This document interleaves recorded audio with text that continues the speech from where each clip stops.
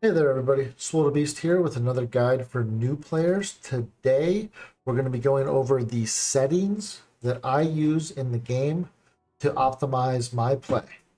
I do want to preface this slightly by saying this is not a guide to get the best frame rate out of BDO.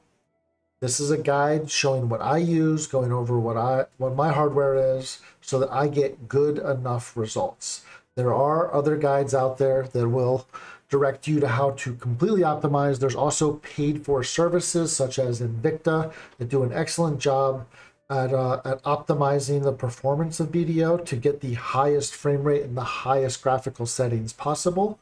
I've used Invicta on a previous computer.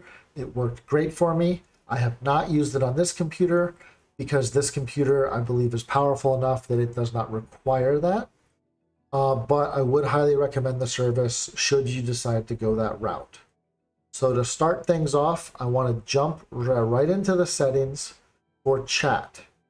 For new players, this is going to be extremely important if you don't want to expose yourself to an overwhelming amount of information or a certain amount of toxic player base. Every game has them, people that spam chat with inflammatory comments that we don't necessarily want to hear when we're trying to play a video game for fun. So the first thing I am going to recommend that you do when you log into Black Desert Online is click escape, go to community and chat group. By default, you are placed in the Lunar Halo Inn chat group. It is advertised as a cozy shelter for new and returning adventurers. It is anything but that. It is a cesspool full of toxicity, political conversations, and people trying to test the limits of what they can and cannot say before a GM will ban them. Highly suggest you get out of this group and join any of the other groups as soon as possible. In order to do that, click on any of these other chat groups, hit enter. It'll ask for a confirmation Group chat on your chat window will be entirely more enjoyable for you moving forward. So the next thing I'm going to cover is going to be about your chat boxes in the bottom left. Your screen will not look like mine. I'm a guild master. I like having three chat boxes, one where I can monitor guild chat and whispers, and one where I can monitor server and group chat. Uh, the second chat window, the one on top when you default into the game is system chat. Click on the gear icon for system chat. As a new player, this chat spams you with every achievement that every nearby player accomplishes. You don't care what fishing level a guy 200 meters away from you has received. So turn off general, leave private item on. Everything else is turned off hit confirm. This will now only show you what you want to see. Now that we've set our system chat, we're going to move on to the other chat window. I do prefer a smaller chat font, so I do turn font size to small. Besides that, everything else here is user preference. I also prefer for my whispers and my guild chat to show timestamps so that I know when that everything's been responded to in a timely manner. The next thing we're going to cover is a setting that's deeper in the settings menu, but we're going to cover it first because it is the most important. I cover this in my new player guide to seasonal play. I'm going to cover it again because it is very, very valuable. You go to settings and you go to general settings alerts. Turn off all the shared settings except for notification and I also prefer to turn off wars, guild wars and conquest wars, unless you are in a guild that participates in wars and conquest wars. I also enjoy turning off pearl items, guild member logins, and nearby monsters as you get spammed with those quite frequently. Everything else I leave on, but the important ones are the shared ones you will be spammed by every single person on the server's enhancement if you do not turn these off. You'll never get a moment where your screen is not spamming you with something. Next, we'll get into a little bit of the graphical settings that I have on my system. First, I want to discuss what hardware I have so that you can gauge whether you need to set down or above where I'm set at. I have a 4070 Ti 12 gigabyte graphics card, a 13700KF Intel i7 processor, and 32 gigs of RAM. If your computer is superior to that, feel free to set everything on. If your computer is less than that, play around with the settings. In the settings menu, it does show you what frames per second you are getting, so you're able to gauge it. I highly suggest leaving town before you play with all the settings. In town with a ton of players around you and a ton of NPCs, your FPS will drop significantly. Also, do not be close to a coast generating waves and water uh, tanks your FPS in this game. Not to a point where it's unplayable, but when you're trying to optimize your settings for when you're going to grind in the game, I would suggest going out into the wilderness, standing in the middle of the woods in a safe spot, and playing with your settings there. Okay, we're going to open the settings menu. We're going to start at the top and work our way down. So we start at performance settings. I recommend high texture quality it does not make a significant difference in your FPS dropping it to low. High works great. It looks great. I prefer that. I play the game on remastered. There's these options up here for graphics, and then high-end graphics is remastered and ultra. Remastered, as you can see, gets me above 160 FPS. My monitor maxes out at a 165 hertz. It gets me right where I want to be. Uh, I did when I first started playing the game on an older computer use very high. There you can still easily get the game to about 100 to 120 FPS. It does look a little more video gamey, a little less uh, like it's a, a video camera.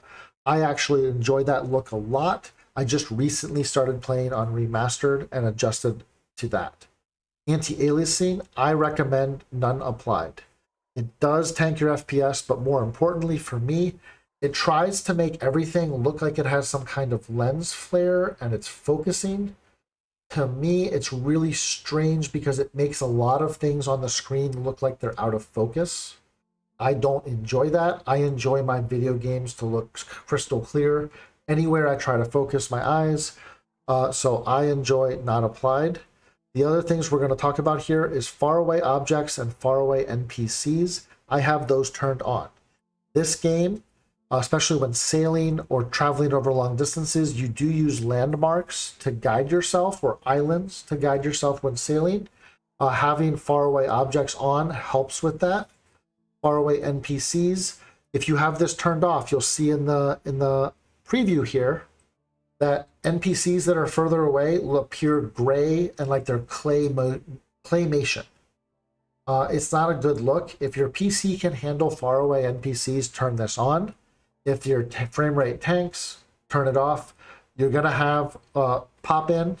The PC, NPCs won't fully appear for you until they're very close to you. Uh, it's something you're gonna have to deal with if you have a a PC that can't handle faraway NPCs. We're going to go to optimization. I have upscale and auto frame optimization not applied or off. Uh, don't recommend these options. I don't see a large uh, return on investment or return on resources by having these on. So I keep those on. Low power option turned off. Every guide I've ever seen recommends having low powered option turned off. So now we go to camera performance here you want camera vision range at a 100%. It's the game defaults, I believe, at 50. It's very zoomed in. Combat gets very hard on the eyes. Highly recommend you move this out to 100% to give you a maximum field of range. I also have camera effects turned down to about 45%. Uh, this you can adjust down further if you, you're having issues with your eyes and the camera effects. Workers and pets, I have hide all pets on. We'll get into this a little further in this in the settings. Next, we move on to display settings. I play at 1440p. If your monitor only handles 1080p, set it at 1080. If you play at 4K, set it to 4K. This is where you do that. I also play full screen windowed because I use two monitors. UI upscale, I leave it at 100% at 1440. I feel the UI is a perfect size. At 1080, I feel the UI is a little too big and I would turn this down. Crop mode, I've been told and I've tested it slightly. Uh, if you crop the screen to be a little bit smaller, you do go have an uptick in FPS. I personally don't enjoy the look of it very much, so I leave this turned off. Again, here is where you set remastered and high texture quality. We've already gone over this. You can see I'm getting right at my max FPS that my monitor can handle at 165. It sometimes goes a little below that. I'm okay with that. I don't need to be maxed at any at any given moment. This does go down when I'm in towns. This does go down when I'm near shore. So I'm not getting perfect FPS, but it does stay above 60 at almost all times, and I don't notice the dip, so it does not bother me. Again, anti-aliasing is off. We already talked about faraway NPCs. I don't enjoy the look of blood in this game. Uh, it feels like a little less of a fantasy game at that point, so I have those turned off.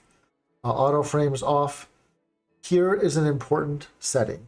Remove others' effects, remove far away effects. I have these both turned off. You can turn on others' effects if you want to see others' effects.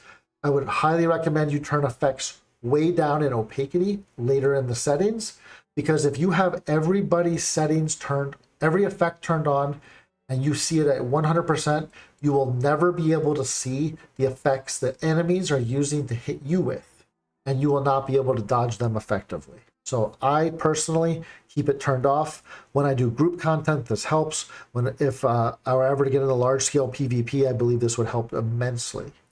So highly recommend that. For effects, if the game is too bright and too vibrant for you, this is where that setting comes into play. It is under effects. Under effects, I have photo filter at none. Under certain camera settings in the game, this is set to vibrant.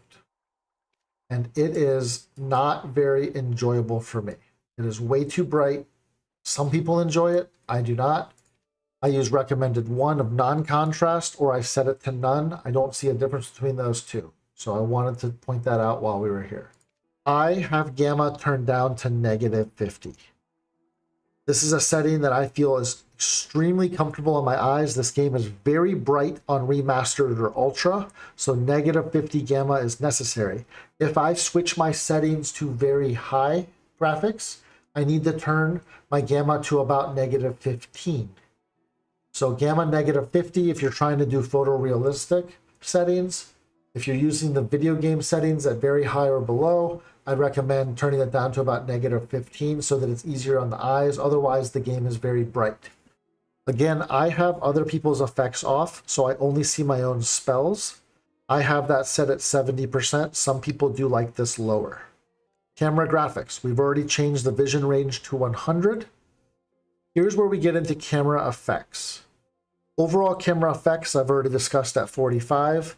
Vibration blur, if you get motion sickness, turn these down the whole way. I have them set at only 20% because I do like seeing my screen vibrate when it's supposed to and shows that something is happening. But uh, it is very overwhelming when you first start playing the game and this is set to 100. So vibration and blur I have set down.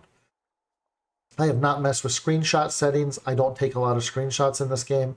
The game is very beautiful. If that is your thing, please feel free to play around with these. Audio settings. I don't change too many of these except that the game is extremely loud by default. It will overpower the other things that you may have running on your computer, such as Discord or something you use for voice chat. I actually play the game at 11% volume.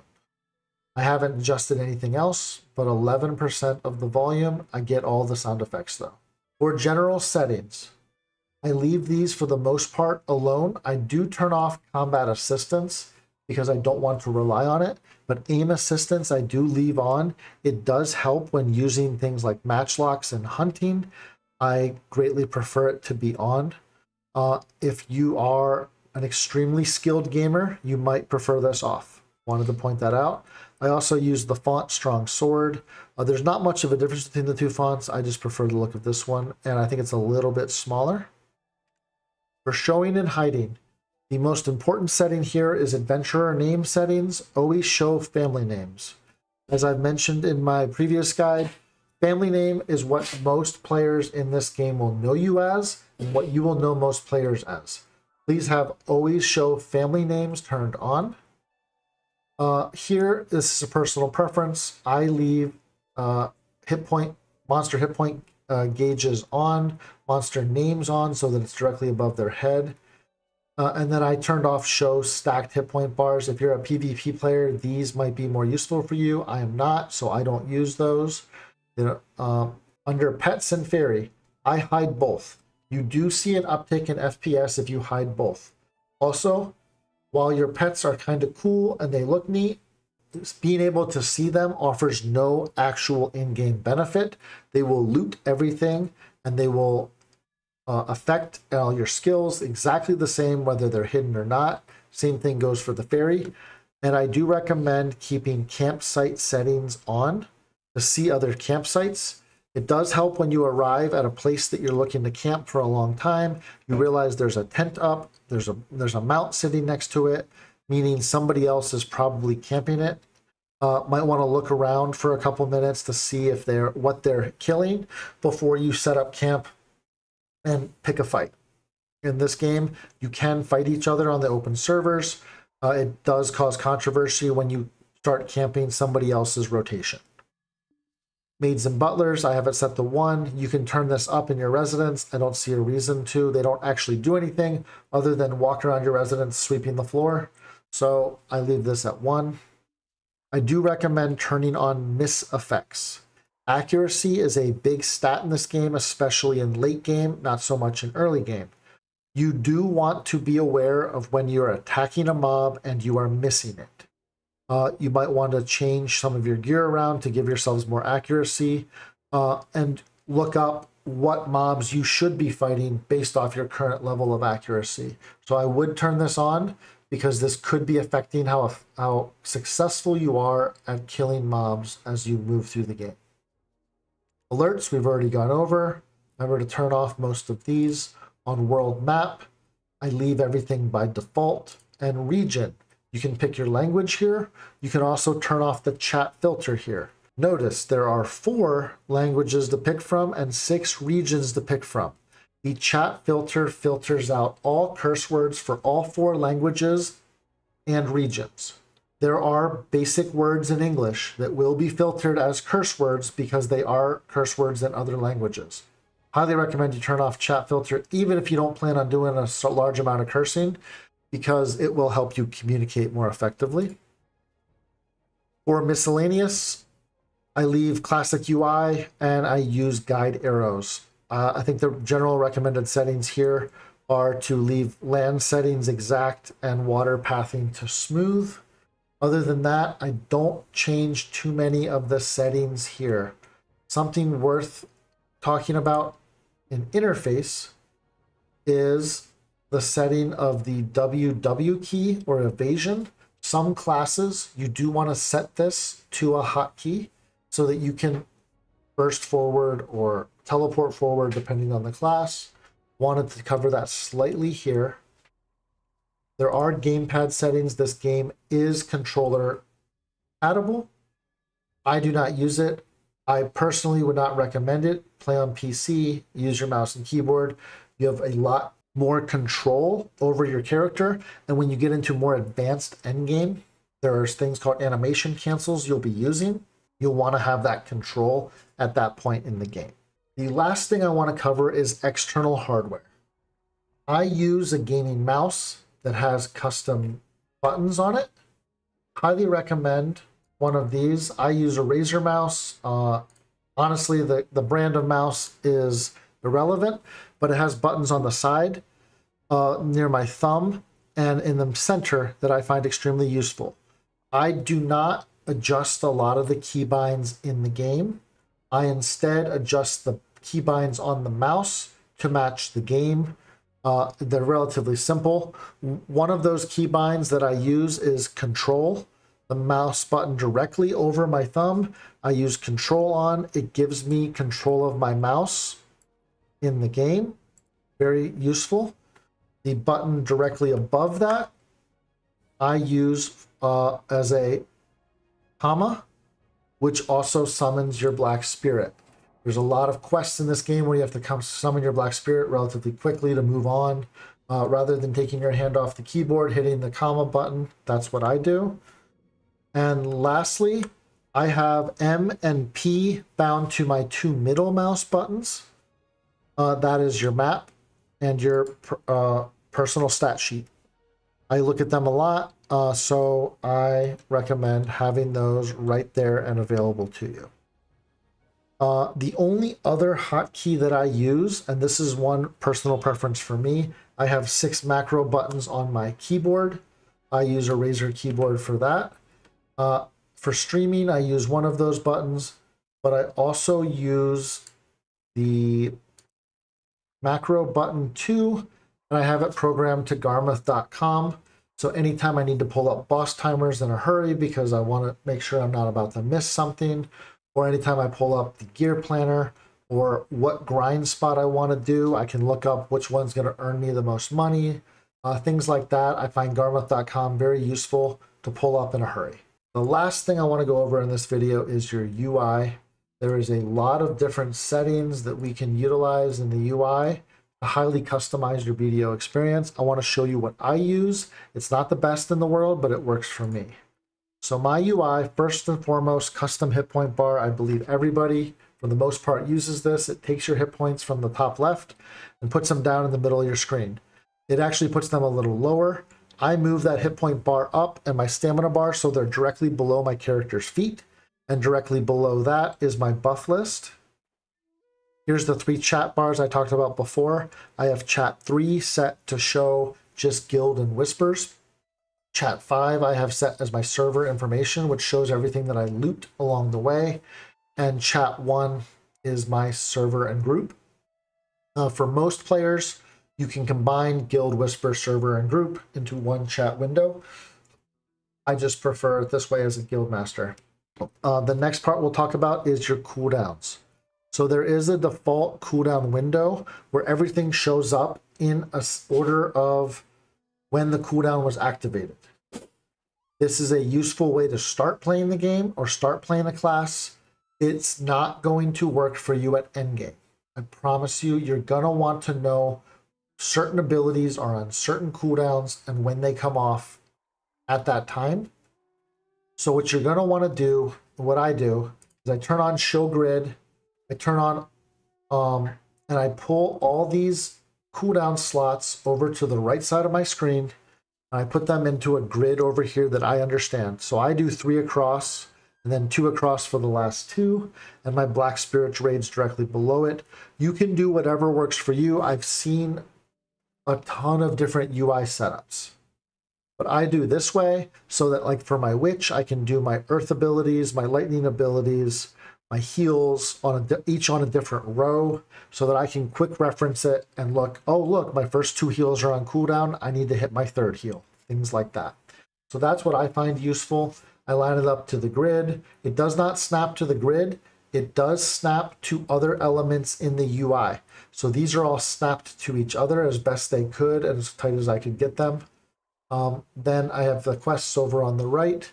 My mount, I moved, mount bar, I moved up a little bit and party and platoon are around the same level over here. My quick slots, I use auto assign quick slots or auto align quick slot bar, and I adjust these. The quick slot bar by default is this one up here. It comes with eight quick slot abilities. You can fit 12 in roughly the same space if you use auto align quick slots. So that works better for me as well. That about covers the UI. When you want to save it, you save, you hit the preset you're saving to. When you want to load a UI, you simply click the preset under UI and you can load from there. Uh, the last thing we'll talk about in the UI is when you're teaching people through Discord or video or streaming, Uh, you can turn on your keyboard display so people can see what buttons you're pressing as you press them. And uh, that's very useful for teaching. I will be making guides for classes in the near future. This will be turned on so that everybody can see what we're working with. That covers my UI overview. That covers my setting overview. I wanted to make a quick video to go over that. I hope this was uh, brief and to the point. I hope this helps you. If you have any other questions, if you have any requests for guides in the future, please put them down in the comments below and I'll start working on them. Let me know what you need and we'll make that happen for you. Thank you. Have a good day.